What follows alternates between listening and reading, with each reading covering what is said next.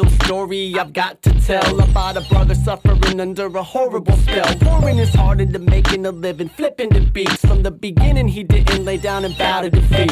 It began with a love affair, far in between with the streets and the pull to heal other suffering. He didn't see too many colors in his community. His mother started wondering what her son was doing. His room was cultural, covered, smothered with magazine covers while you were out.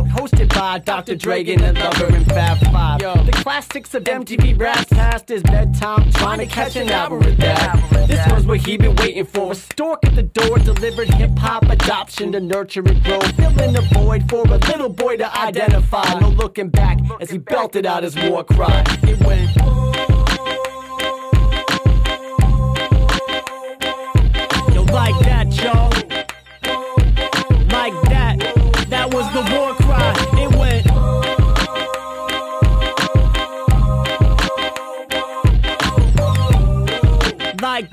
Like that. That was my war cry.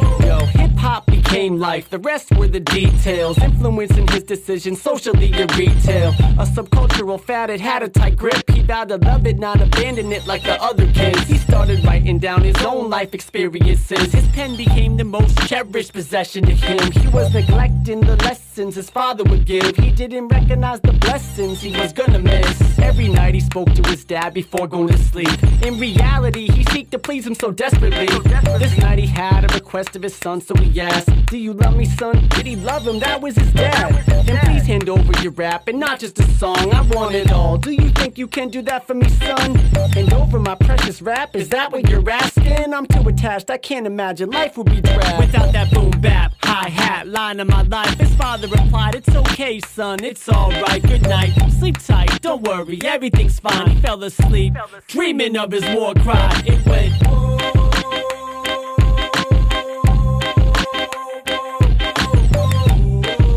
Like that, y'all, like that.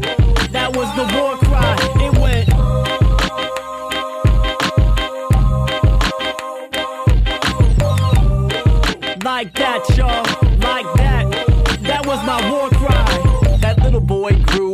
and to a man and mapped a career path as fast as he can. Hitting the road full steam with a dream. Demos went to all the influential industry peeps. Every night he still spoke to his dad before going to sleep. And every night his dad would have the same request of his.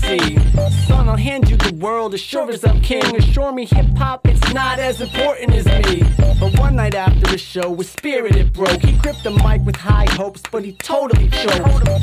He awoke to the reality that who he was determined what he did, and that was the key. So he called up his father, said, Would you come over? I made a decision to follow your course.